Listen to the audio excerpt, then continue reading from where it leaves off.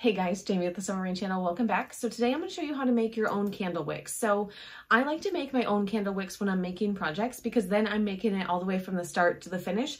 I also feel like when I make my own, I can control the size of them, right? So sometimes you need a smaller candle wick and it almost feels like a waste when you have a big long one that you have to cut.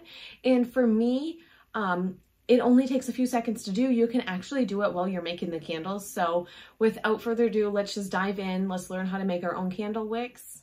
So to make your candle wicks, you're gonna need a few ingredients. So you're gonna need some soy wax, some needle nose pliers, wick tabs, which are the little metal tabs that go on the end of a candle wick, and then just some wick string. So what I'm gonna do is I'm just gonna take the soy wax and go ahead and pop it into our pouring pot. And then we're gonna go ahead and take a saucepan with just a little bit of water on the bottom. And I have a silicone mat in here that just prevents it from bumping around on you. And we're gonna pop that on our burner. And we're just gonna place our pouring pot in there and heat it up on a low to medium heat just until all of the wax is melted. So now that our candle wax has fully melted, we're gonna go ahead and pull it off the double boiler. And then what we're gonna do is we are gonna take our wax. This is gonna be a little bit difficult to get my hands in. So I'm just gonna pour this into a different container that's a little bit more shallow. So what we're gonna do now is just go ahead, cut the wicks to whatever size you're gonna need them. Um, you can cut them all the same size, you can cut them different sizes. It just depends on what you're gonna be using the wicks for. Now you do want to cut them just a little bit longer than what you'll actually need. And what we'll do is we're just going to take the wick and drop it right into the wax. Come in with your pliers and you're going to kind of shake off as much of the excess wax as you can. So we'll just give it a good shake. And then when you lay it out, you want it to be laid out as straight as you can. Now, it doesn't have to be perfect um, by any means, but kind of the straighter that you lay it out, the better. And you're just going to continue this process.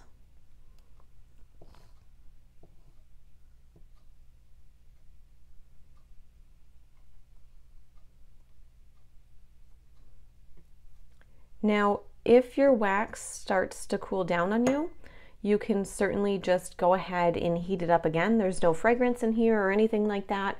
So you can really heat this up as much as you need to.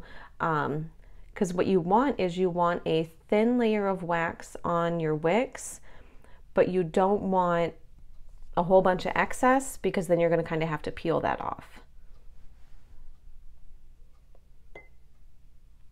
So when it's hotter, the wax is going to come off of the wick a little bit better. As it starts to cool down, it gets a little bit thicker and harder to shake off that excess.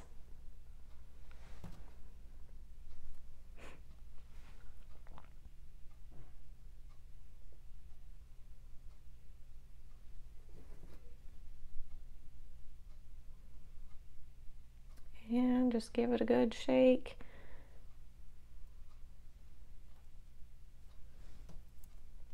And I'll do one more here.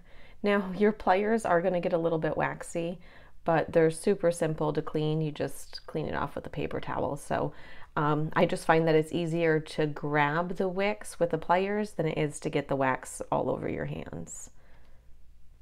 And we will just lay those like that and allow them to cool. And the cooling process is only going to take a minute or so, and then we can go ahead and pull the wicks off of our freezer paper.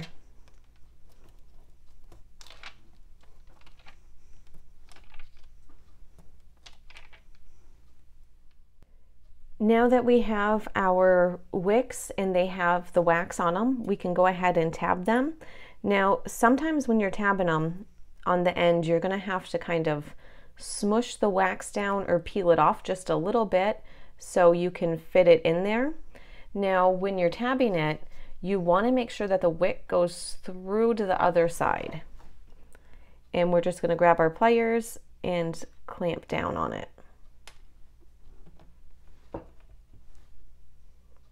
Same thing. You might just have to smush that off a little bit. And then we will put that through our tab. Pinch that tight on there.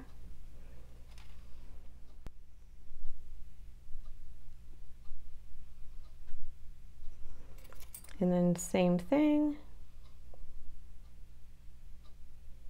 We're just going to squeeze off enough to put it through. Now, um, the part of the wick that you squeezed off, you're going to cut off at the end anyways, so it's not going to affect the wax on it at all.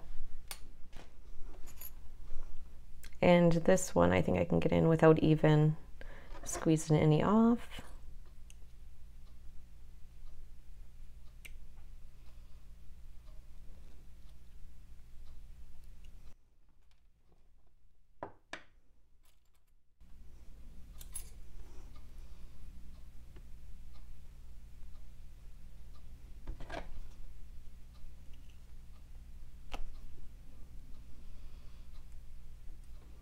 And that one I didn't squeeze quite enough.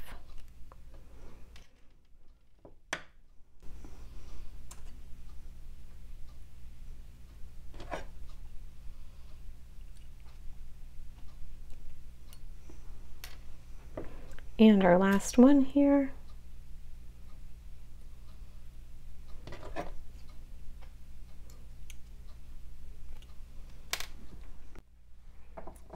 And I swapped out scissors because the ones that I had weren't very sharp. So we're just gonna come in, see the part that we left hanging over, we're just gonna trim those off.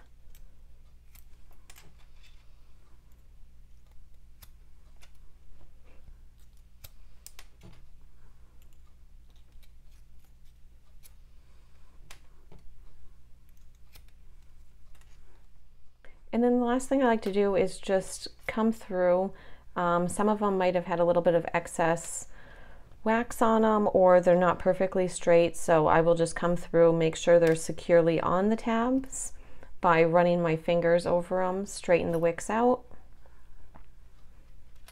Getting any excess wax off of there. And there you go. That is how you make your own candle wicks. I really hope you enjoyed this video. I hope you enjoy making your own candle wicks. Bye!